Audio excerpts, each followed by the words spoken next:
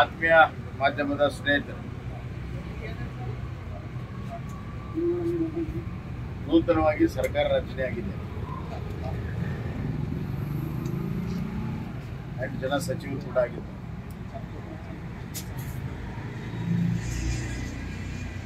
ಈ ಸಚಿವರುಗಳು ಮಾತನಾಡೋದು ನೋಡಿದ್ರೆ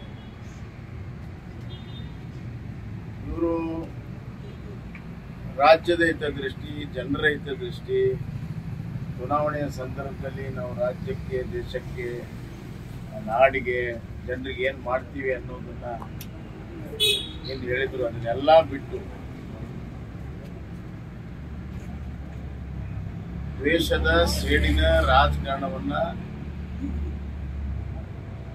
ಮಾಡೋದಕ್ಕೆ ಪ್ರಾರಂಭ ಮಾಡಿದ್ದಾರೆ. ರಾಜ್ಯದ ಅಭಿವೃದ್ಧಿ ಬದಲು ದೇಶದ ರಾಜಕಾರಣ ಬಹಳ ಪ್ರಾಮುಖ್ಯತೆ ಸರ್ಕಾರಕ್ಕಿದೆ ಅಂತ ನನಗೆ ಅನಿಸ್ತಾ ಇದ್ದೆ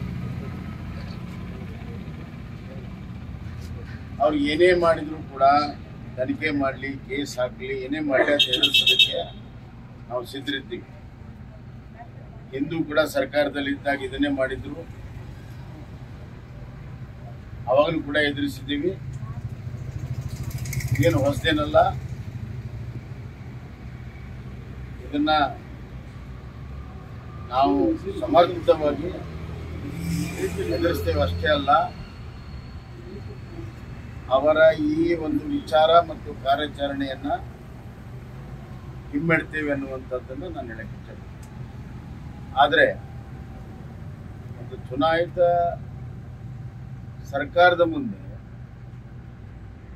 ಹಲವಾರು ಜನರ ಸಮಸ್ಯೆ ಇದೆ. ಆ ಸಮಸ್ಯೆನ ಬಗೆಹರಿಸ್ಬೇಕನ್ನುವಂಥ ಒಂದು ತುರ್ತಾಗಿರುವಂಥ ಒಂದು ಆಡಳಿತಕ್ಕೆ ಬೇಕಾಗಿರುವಂತ ಒಂದು ವಿಚಾರ ಮತ್ತು ಅದರ ಎದು ಪರಿಪಾಲನೆ ಮಾಡುವಂಥದ್ದು, ಇನ್ನು ಅನುಷ್ಠಾನ ಮಾಡುವಂಥದ್ದು ಎಲ್ಲೂ ಕೂಡ ಕಾಣ್ತಾ ಇಲ್ಲ.